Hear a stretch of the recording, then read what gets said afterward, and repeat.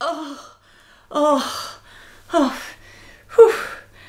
Ah, ah.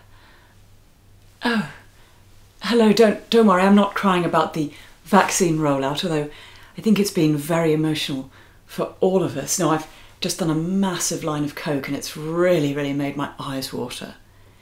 So, I'm just here at the tail end of the Conservative Party Christmas Jamboree, and it's been quite a wonderful event actually. For example, we've got presents for thousands and thousands of people around the nation.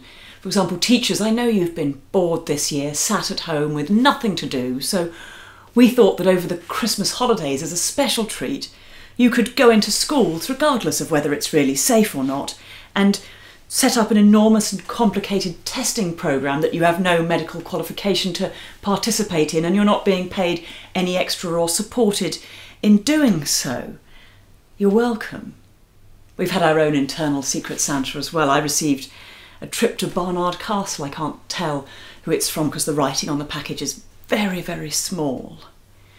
I had to get something for Priti Patel and she is very hard to buy for. We looked at knuckle dusters, but in the end, she just cornered me behind the bike sheds. I ended up giving her my lunch money.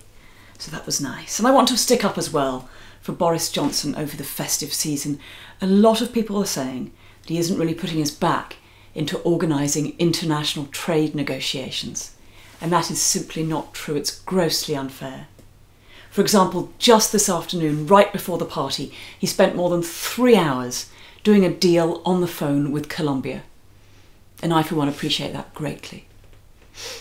Have a wonderful, snowy Christmas. See you next year.